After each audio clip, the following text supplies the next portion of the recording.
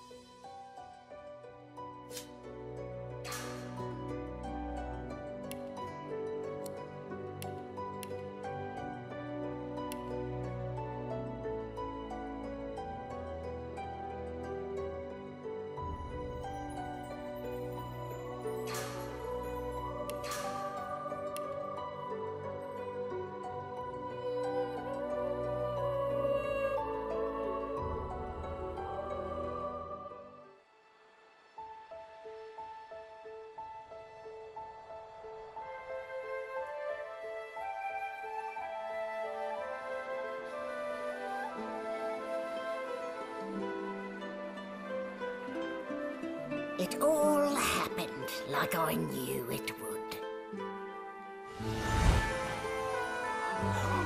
A single drop of source magic. And, like flies to honey, the monsters swarmed. The rebel panicked. The carnage began. And the Magisters pointed their fingers at me. Just as I'd planned. I was shackled and collared. And sent to Fort Joy.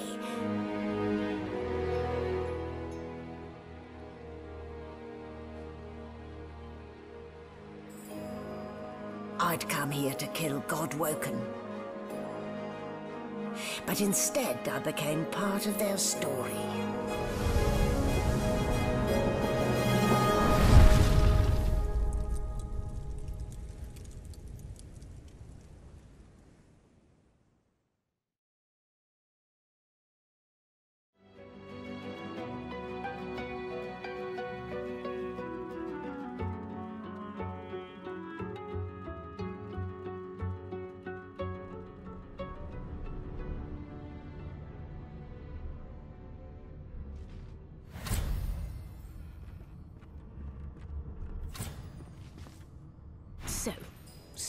Groggy, are we?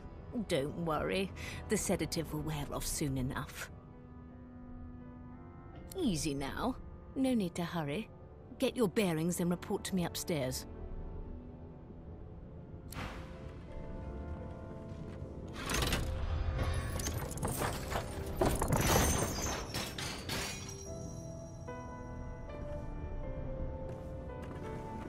Well now, aren't you a curious sight? If I'd had a mask to hide my bones as well as yours, maybe I'd still be walking around today. Where'd you get it? There can't be many curios like that in the world.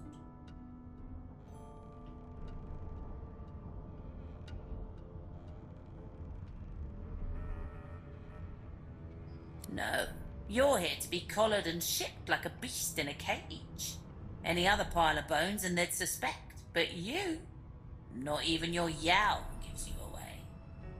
I've never heard such silken tones from a naked skull.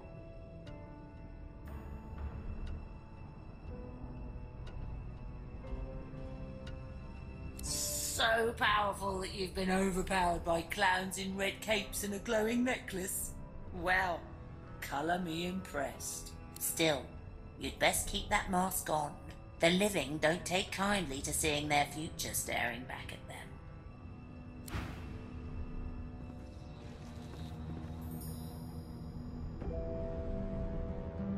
And now you are silent. If only all humans were so thoughtful.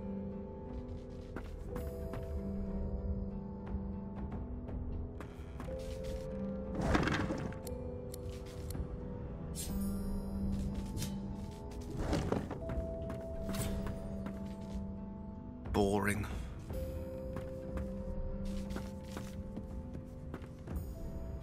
This again?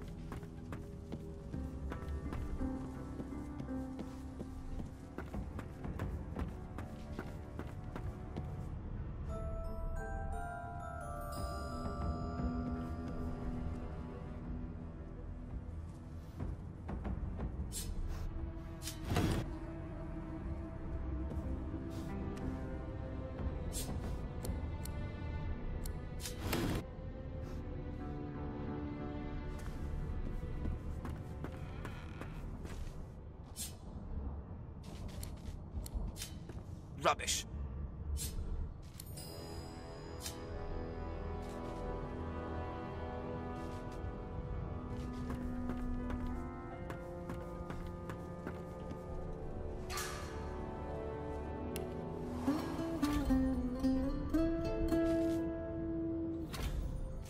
It seems as though there's a pattern in the blood.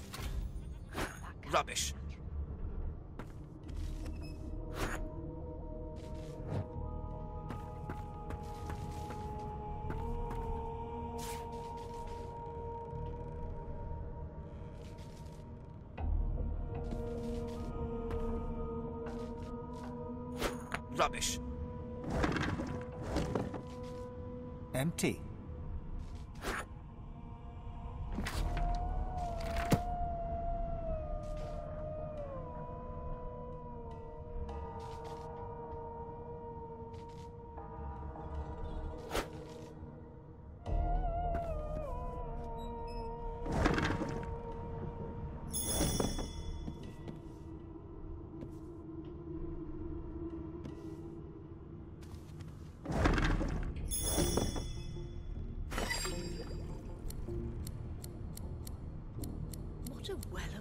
This tome is. Dallis is such a dear lending it to me.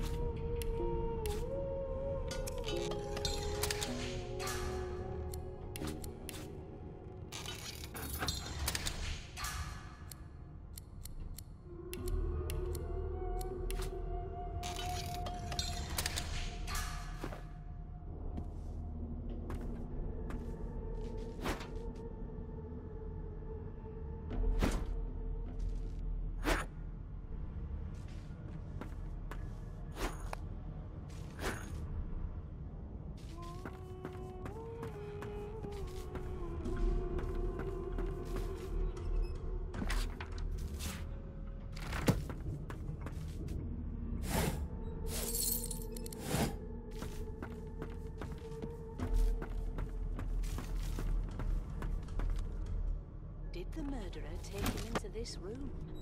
Or was he already here? Why, you're looking a bit more chipper. Yes. Looks like that collar fits you snugly enough. Nice bit of work, even if I do say so myself. There you are. Not too tight, I hope. The collar, I mean. Oh, not to worry. Every dog has to get used to its leash. In the meantime, your next stop will be Magister William. All passengers have to be registered in the ship's manifest, and he's the chap in charge of the logs. You'll find him on the other side of this deck, in the officers' quarters.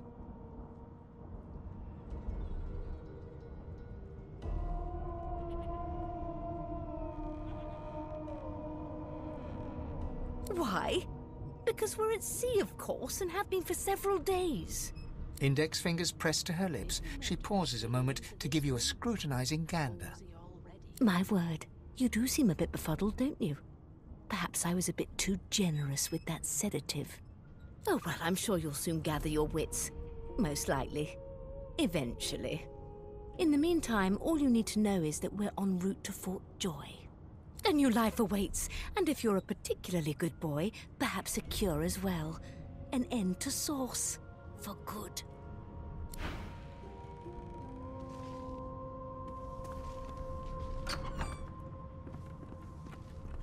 Good gods, there's, there's been a murder here.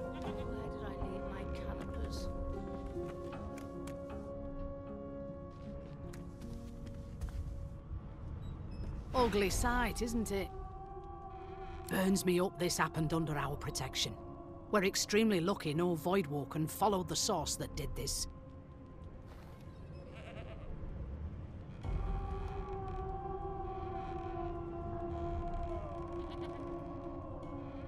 Finn didn't see it like that. He was desperate for us to help him. Two things scared the living daylights out of him his own shadow and his own source. We'll find out who did this. Speaking of, She looks up at you with a mirthless smile. I was on duty in your room when the murder happened. You were asleep the whole time. Didn't even stir. You're one of the only indisputably innocent people on the ship. Unless you can commit murder in your sleep, of course.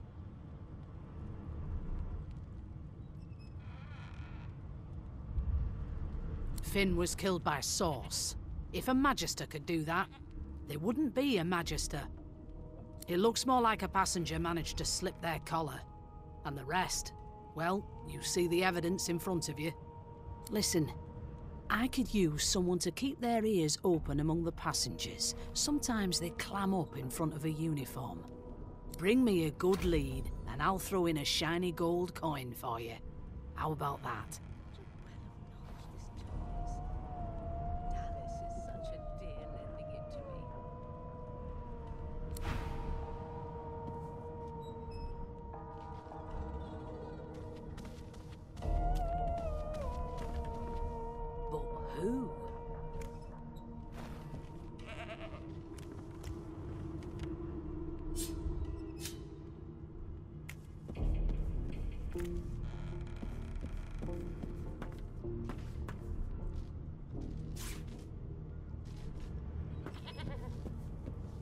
Spick and span.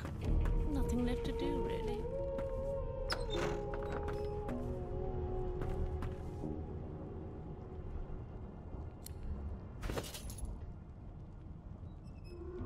It seems as though there's a pattern in the blood flow.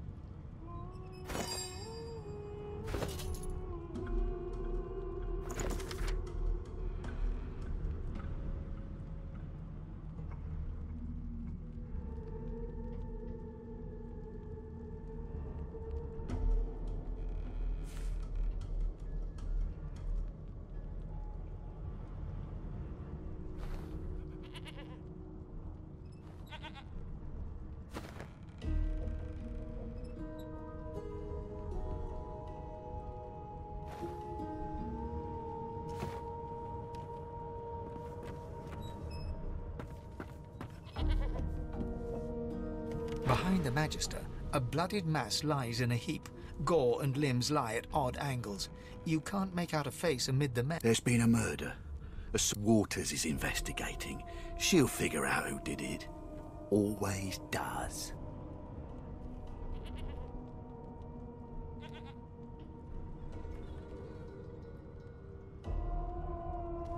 You surprised?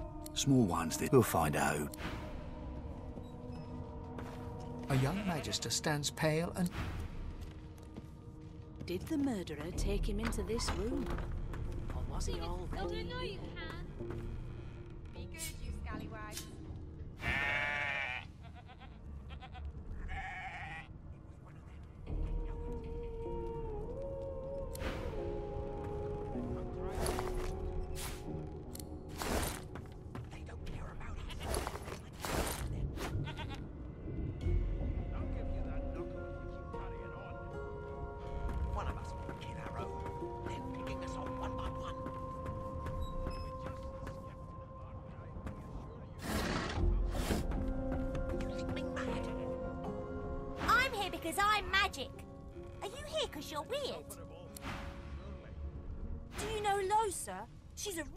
singer.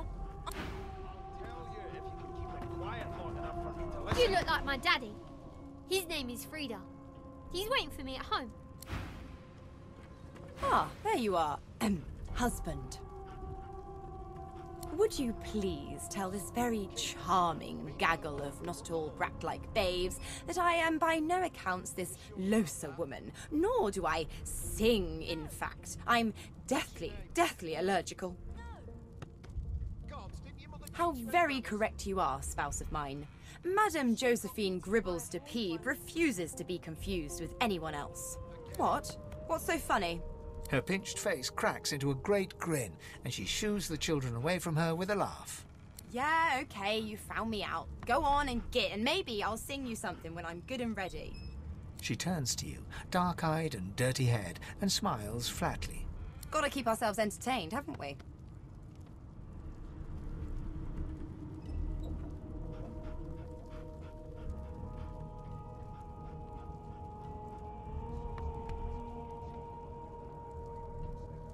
You'd presume right.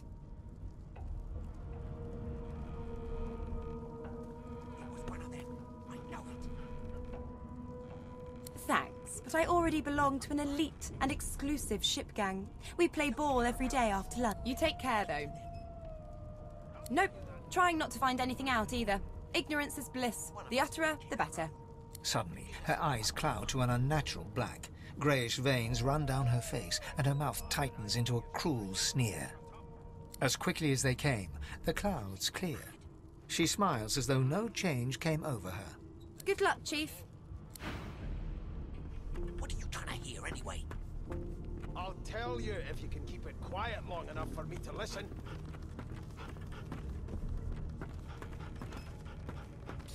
Kate, down by the roof of the hall.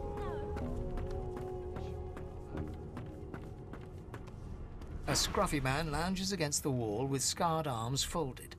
A sly smile playing on his face, he stares across at the Magister guarding him. Noticing you, he straightens and beckons for you to come closer. Watch your back, new fish. There's a murderer on board, and I'd bet three months' pay it's this tramp Ifan. Rolling his eyes at the Magister's warning, the man named Ifan beckons again. He leans in and adjusts your collar with a sharp tug, balancing its weight so it no longer presses unpleasantly on your neck. He winks. Pinches less that way, right? Hocking a phlegmy gobbet in your general direction, the sullen Magister settles back to his task of glowering at Ifan. And now, you. Just skip to the part where I reassure you and you shut up. We used to know each other, more's the pity. I was his commander, many, many, many. Standing far back from Ifan, the tight-faced Magister draws one finger across his throat. Ifan grins, flashing pointed white teeth.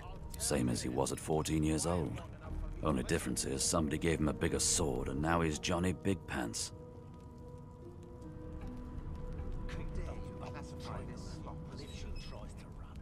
Long story. Maybe I'll tell you about it in the joy. Away from interested parties. No. The dead man, Finn, is it? I'd no business with him. And I wouldn't put a man down. He glances over at Magister Victor, who's staring back at him with pointed intensity. Damn shame sheer annoyance isn't reason enough.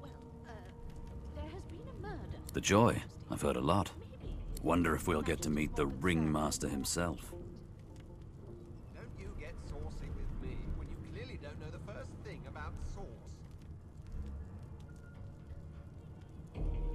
Easy now. I might think the same. But Vic here will blow a blood vessel. What are you conspiring about over there? Oh, don't mind him. Vic's just got a bee in his bonnet. And that bee is me. Name. They don't care about us. We're like cattle to them. I'll give you that knuckle if you keep carrying on. Magister Victor looks at you suspiciously, then scrawls something illegible down in a tiny notebook. He scowls at you as he stows the notebook back in his voluminous robes. Away with you. At once. Ifan performs an elaborate pantomime of keeping quiet, one finger in front of his lips as he leans back against the wall. I'll tell you if you can keep it I'm quiet busy watching for clues, sorcerer. Good.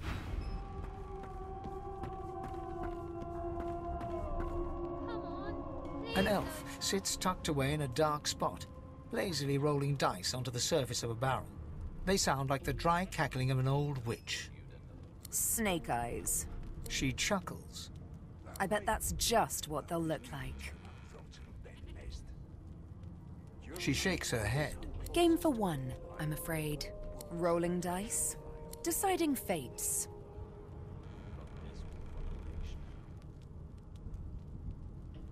Don't worry, honey.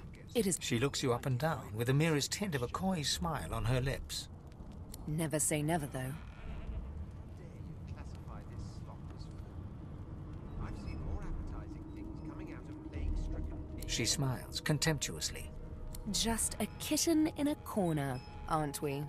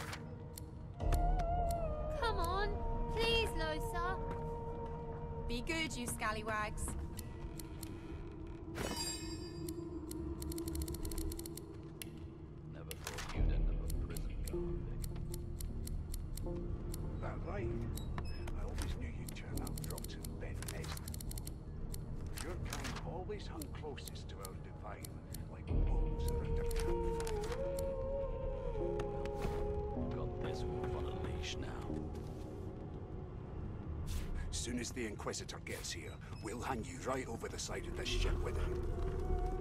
You one of them? A Divine Order loyal? They killed a sorcerer, you know. They'll hide. Be good, you scallywags. Boring. It was one of them. I know it. Would you put a knuckle in it? I'm trying to concentrate. About us. We're like cattle to them. I'll give you that knuckle if you keep carrying on. One of us wouldn't kill our own. They're picking us off one by one. Can we just skip to the part where I reassure you and you shut up? You think me mad? Mad? No. Insufferable? Surely.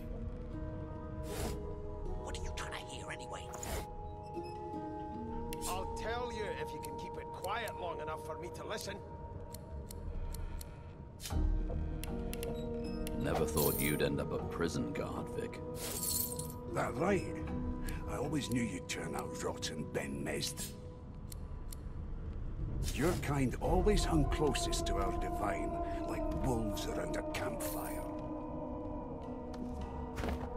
Well, you've got this wolf on a leash now. As soon as the Inquisitor gets here, we'll hang you right over the side of this ship with him.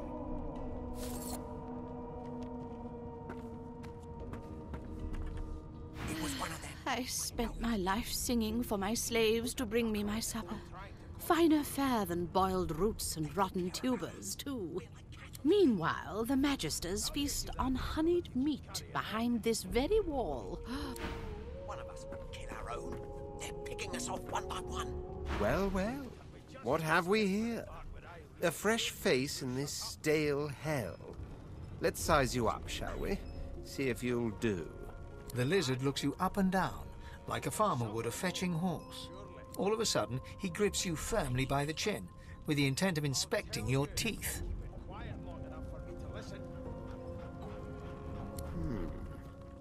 There's some discoloration, as well as a rather disconcerting lack of tongue and gums, but I've seen worse. After all, one can't expect to find prime merchandise on a squalid little ship like this.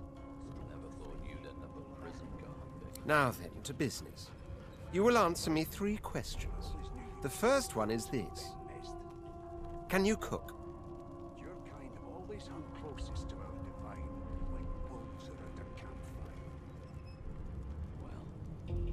You've this wolf on a leash now. As soon as the Inquisitor gets here, we'll hang you right over the side of this ship with him.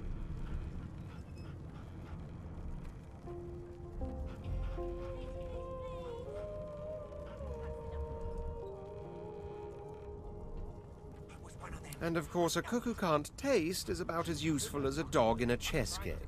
On to the second question. Can you knit, weave? In short, uh, tailor? I'll give you that knuckle if you keep carrying on. One of us wouldn't kill our own. They're picking us off one by one. Can we just skip to the part where I reassure you and you shut up? Yes, I can tell from your vagabond chic, a bag is as good as a shirt kind of style. I shouldn't be getting my hopes up. On then to my final query. Have you the ability to administer the upkeep of one's personal appearance? The delicate art of cosmetics is what I'm after.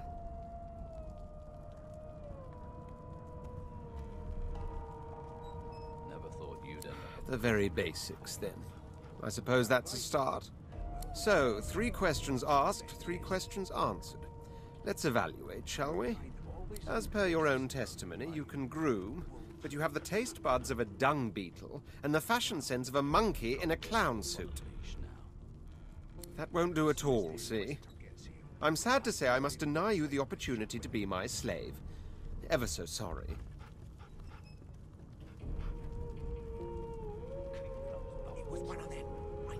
I know, I know, but you just don't have what it takes. A good slave's made of sterner stuff, I'm afraid. Still, hone your skills, and one day you may just qualify for a position in a lesser household than mine.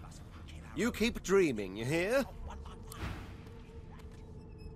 Can we just skip to the part where I read? A broad dwarf sits totally upright on the bench, eyes closed, palms face up on his knees. His beard is a cascade of meticulous plaits, each one braided through with golden medallions. He raises an eyebrow as you approach, but doesn't open his eyes. Listen up, boy. You hear that? That right? I always knew you'd turn up Throckton Ben Mest. Your kind always hung closest to The ship, of course. A wave of sound washes over you. The unintelligible chatter of your shipmates, the groaning of wood from floor to ceiling, the boom, crash, and crackle of. And?